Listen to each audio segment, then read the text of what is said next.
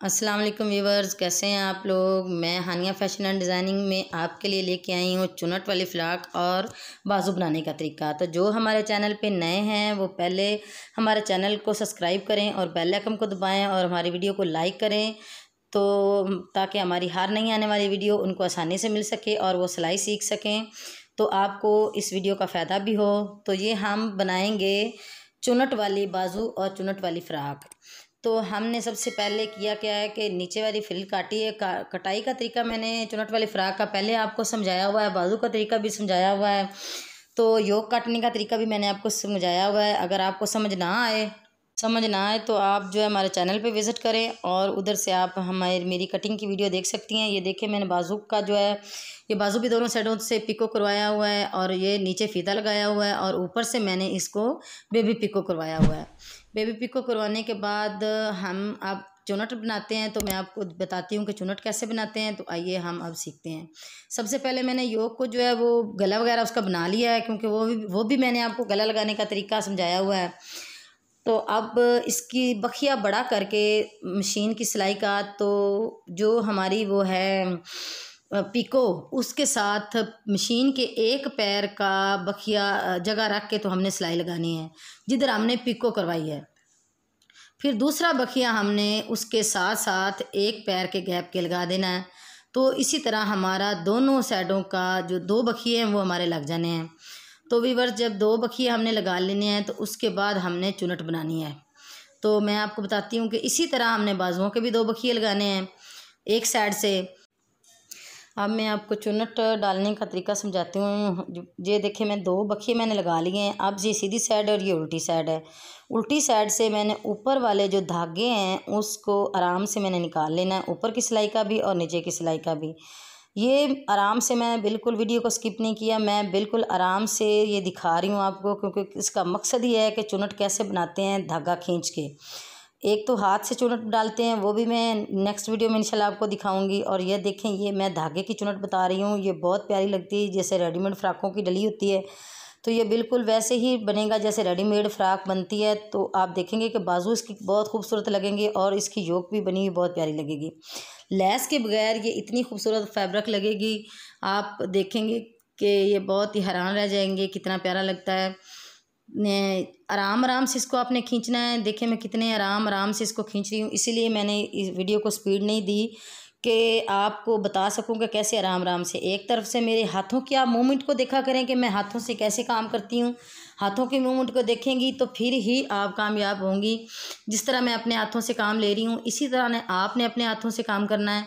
तो फिर आपको इन ताला ये तरीका समझ में आ जाएगा। देखिए मैं बड़े आराम आराम से चोंटी आगे कर रही हूँ। क्योंकि बखिया बड़ा लगा हुआ है, इसलिए वो आगे आगे जा रहा है। जब हम दूसरी तरफ़ से बखिया मोड़ते हैं ना कपड़े का तो उधर से हमने धागा काटना नहीं है, क्योंकि ये बखिया निकल ना जाए। इसी तरह खींच के हमने जो हमारा, हमारी योक है, उसके मुताबिक, यानी कि पेटी, उसके मुताबिक हमने खींच के इस कपड़े को बराबर कर लेना है। बराबर करने के बाद फिर हम क्या करेंगे कि इन चोंटों को हम बराबर करेंगे। अब मैं जब ये बराबर करती हूँ तो मैं आपको बताती हूँ, ये देखें, ये हमारी, ये योग है, योग के साथ अब मैं ये चोंटे बराबर कर रही हूँ। ये आपके लिए सारी सहूलत है, आप देखेंगी तो बड़े आराम से इसको बनाएँगी और आपको बिल्कुल समझ आएगी। कमेंट में आप मुझे ज़रूर बताइएगा कि आपको समझ आई है कि नहीं आई है। अब इधर से आपने धागे को काट के जहाँ पे आपका कपड़ा मुकम्मल हो जाना है, उधर से आप गिरा लगा दें ताकि ये आपकी चोंटे बढ़े ना। अब मशीन के किसी कील के साथ आप इसको इसको आप लगा दें और ये दो बखिए लगे हुए हैं हमारे, इनके दरमियान में आप चोंटे बराबर कर लें। अब ये मैं चोंटे बराबर कर रही हूँ आपके सामने। सारी चोंटे बराबर हो जाएँगी तो फिर कप, जो ये फैब्रिक है, ये कम या ज़्यादा कहीं पे नहीं होगी। अब ये सारी चोंटे बराबर हो जाएँगी। देखें, ये आपको सिलाइयाँ नज़र आ रही हैं तो इस, ये इसीलिए मैं दिखा रही हूँ इतना क्लोज़ करके कि आपको सिलाइयाँ नज़र आएँ और सिलाइयों के अंदर ये जो है वो चोंटें बराबर होती हुई आपको नज़र आएँ ताकि आपको पता चले कि ये चोंटें कैसे डलती हैं। फिर इनको लगाने का तरीका, अब ये आप खुद ये देखें खुद आपके लिए है कि ये इतनी आसानी से कितनी प्यारी चोंटें बारीक बारीक सी, कितनी खूबसूरत यकसा एक जैसी डल गई हैं। हाथ से भी आप डाल सकती हैं इसी तरह, लेकिन अगर हाथ से आप ना डालें तो आप इस तरह डाल सकते हैं। ये मैंने फ्रंट बैक की भी डाल ली और ये मैंने बाजुओं की इसी तरह लाइन लगा के ये मैंने बाजुओं की भी डाल ली। बाजू मैंने दोनों साइडों से पिको करवाए हैं और फ्रिल मैंने एक साइड से पिको करवाई है। फ्रिल भी आप दोनों साइडों से पिको करवा सकती हैं, वो अपनी पसंद के मुताबिक है। अगर आप ना करवाएँ तो भी ठीक है, अगर दोनों साइडों से करवा लें। लेकिन मैंने इसके नीचे हल्की सी वो लैस लगाई हुई है। तो फ्रिल भी आप करवा सकती हैं, ये मेरा बाजू है। तो मैं अब आपको बाजू के साथ लगाना भी सिखाती हूँ कि कैसे लगती है फ्रिल और पेटी के साथ भी लगाना सिखाऊँगी। ये हमारा दरमियान करेंगे हम बाजू का और ये बाजू के जो फैब्रिक है उसका भी और फ्रिल का भी। तो बाजू के दरमियान ये सेंटर में रखेंगे हम सिलाई पहले, रख के तो इसको मशीन के पैर के नीचे हम रखेंगे। सेंटर से स्टार्ट लेके हम इसको करेंगे, अगर हम पहली दफ़ा कर रहे हैं, क्योंकि कारीगर जो होता है वो तो स्टार्ट से ठीक कर लेता है, लेकिन आप लोगों को समझाने के लिए मैं ये सेंटर से स्टार्ट कर रही हूँ। और ये आप अच्छी तरह देख लें कि ये जो दो सिलाइयाँ लगी हुई हैं, उन दो सिलाइयों के सेंटर में मैं ये तीसरी सिलाई लेके आ रही हूँ, जो कि ब्रीक चाल करके, यानी ब्रीक बखिया करके मैं लगा रही हूँ, ये क्लोज़ करके मैं दिखा रही हूँ आपको कि ये इस इनके सेंटर में आएगी तो फिर ये हमारी चोंटें भी यकसा एक जैसी होंगी और ऊपर से फ्रिल का जो हमारा डिज़ाइन बनेगा, वो भी एक जैसा ही लगेगा। अब ये बराबर करके हम कपड़े को लगाएँगे। ये इसीलिए सेंटर से स्टार्ट हमने लिया है कि हमारा कपड़ा कम या ज़्यादा या कहीं डिज़ाइन में आगे पीछे ना हो। तसल्ली के साथ आराम से वीडियो को देखें और मुकम्मल देखें। कहीं पे स्किप ना करें, क्योंकि अगर आप करेंगी तो आपसे कोई ना कोई नुक्ता छूट जाएगा और वो फिर आपसे डिज़ाइन अच्छा नहीं बनेगा। अगर आप तसली से वीडियो को देखेंगी तो आपसे फिर वो नुक्ता नहीं छूटेंगे और आप बड़ी आसानी से बनाएँगे। ये एक एक नुक्ता मैं रख के आप लोगों के लिए बना रही हूँ। ये उसी बखिए पे मैं फिर वापस आ रही हूँ और उसी सिलाई पे वापस आके तो मैं ये दूसरी साइड से इसको लगा रही हूँ ताकि आपके लिए आसानी हो और आपको मुश्किल पेश ना आए कि हमने कैसे लगाना है। नीचे सिर्फ़ एक इंच का कपड़ा मैं दे रही हूँ। एक इंच का कपड़ा सिर्फ़ मैं नीचे दे रही हूँ क्योंकि वो जो हमारा नीचे दबा है वो निकले नहीं। ये जो काली हमारी पट्टी बनी हुई है डिज़ाइन की उसके ऊपर ऊपर मैं बखिया लेके आ रही हूँ। तो इसी तरह आपको अगर समझ ना आए तो आप चाक से निशान लगा लें कि उसके ऊपर रख के आपने सिलाई लानी है। बेशक आप दो दो टांके करके सिलाई लेके आएँ, लेकिन सीधी और साफ़ सुथरी सिलाई लेके आएँ। क्योंकि जल्दी करने से जल्दी का काम जो होता है वो शैतान का होता है तो जल्दी करने से काम नहीं होता। आप आराम आराम से सीखें और अच्छी तरह सीखें। मेरी कोशिश होगी कि मैं सिलाई अगर सिखाऊं तो आपको अच्छी तरह सिखाऊं, क्योंकि मैं जब भी क्लास बैठाती हूँ तो मैं बड़ी तसल्ली के साथ सिलाई सिखाती हूँ और अपने काम के साथ बड़ा इंसाफ करती हूँ कि मैं अच्छे से अच्छा काम करूँ और अच्छी से अच्छी अच्छा सिखा सकूँ। ये मैंने बाजू मुकम्मल कर लिया और उसकी फ्रिल मुकम्मल कर लिया है। और अब ये देखिए, ऊपर से मेरा दबाव नीचे चला गया है और दोनों साइडों से ये मेरी पीको थी तो ये मेरे बाजू की फ्रिल मुकम्मल हो गई।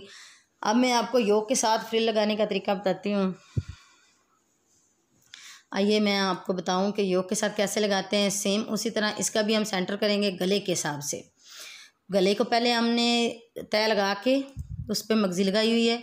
तो गले पे हमने तय लगा के तो उसको हमने कट लगा देना सेंटर में। कट लगाएँगे सेंटर करके उसका तो इसी तरह ही हम फ्रिल का दरमियान करेंगे और फिर हम दरमियान के हिसाब रख के एक साइड से रख के लगाना स्टार्ट इसी तरह बाजू की तरह ही, अगर आपको नहीं रहता हिसाब तो आप बाजू की तरह ही उसको रख के सीधी साइड से सीधी साइड के ऊपर रख के आपने लगाना है। तो आपको अगर अंदाज़ा नहीं रहता तो आप ऐसा करें कि आप सेंटर से ही रख के उसको लगा सकती हैं। लेकिन मैं स्टार्ट से लगा रही हूँ, क्योंकि मुझे पता है कि ये इतना ही होना है, क्योंकि मापा हुआ भी इस कपड़े को है। तो मापा हुआ भी है तो अगर आपको को मापने के बावजूद भी नहीं अंदाज़ा रह सकता तो आप ऐसा करें कि इसको आप सेंटर से भी रख के लगा सकती हैं। लेकिन ये दो सिलाइयों के अंदर आपने तीसरी सिलाई लेके आनी है, ताकि आपकी अच्छी तरीके से सिलाई आए और एक इंच का या आधी इंच का जितना आपने दबा स्टार्ट से रखा है, उतना ही आप दबा सारे योग का लेके आए। ये नहीं कि कहीं से दो इंच का हो, कहीं से आधी इंच का हो, कहीं से कितना हो इसलिए मैं कह रही हूँ कि आप चौक के साथ निशान लगा लें ताकि आप उस निशान की लाइन के ऊपर थोड़ा सा कपड़ा रखें और फिर नीचे से चेक करती जाएँ ताकि रसाई मेरी सीधी आ रही है कि नहीं आ रही है। उसमें आपको आसानी होगी। तो आप देखें कि ये मैं, मेरी पूरी कोशिश है, मैं क्लोज से क्लोज़ करके आपको सिलाई दिखा रही हूँ कि आप की सिलाई जो है वो अच्छी हो। आपको एक एक जो नुक्ता है वो नज़र आए और एक एक नुक्ते पे आपका ध्यान हो। बड़ा साफ़ नज़र आ रहा है कि ये दो सिलाइयों के सेंटर में सिलाई आ रही है और मैं ये जो ऊपर चोंटे बनी हुई हैं, उनको मोड़ रही हूँ। ये रेडीमेड फ़्रॉक्स की इसी तरह सिलाई होती है और वो बच्चों की जो बनी होती है फ़्रॉक्स उनके ऊपर भी इसी तरह सिलाई वो पिको की होती है उन्होंने और इसी तरह वो फ्रिलें लगा लगा के तो वो उन्होंने ये बनाई होती हैं। तो आप खुद अपने घर में लॉन की फैब्रिक लें और उसके तरह अपने बच्चों के लिए फ़्रॉक बनाएँ, बड़ों के लिए बनाएँ, जिस तरह आपका दिल करे आप बना सकती हैं। तो जिस तरह का आपका दिल डिज़ाइन के लिए करे, आप वो कर सकती हैं। जिस तरह की भी मैं आपको वीडियो दिखाती हूँ, जो आप डिज़ाइन दोबारा पूछना चाहें, वो आप मेरे से कमेंट्स में पूछ सकती हैं। मैं इंशाल्लाह आपको दोबारा से बता सकती हूँ। और दोबारा ये मेरी योग की जो है, वो फ्रिल मैंने लगा ली है। तो अब आप देखें कि मैंने ये इसको मुकम्मल किया है। तो अब मैं बाजू लगाने का, पहले ही वीडियो में मैंने आपको बंद बाजू लगाने का तरीका समझाया था कि बंद बाजू कैसे लगाते हैं। पहले फिटिंग लगाते हैं, उसके बाद बाजू बनाते हैं, उसके बाद फिर बाजू को लगाते हैं। इस वीडियो में मैं आपको बता रही हूँ कि खुला बाजू कैसे लगता है। इस बाजू के साथ आप कपड़े की फिटिंग को खुला या तंग अपनी मर्ज़ी के साथ कर सकते हैं।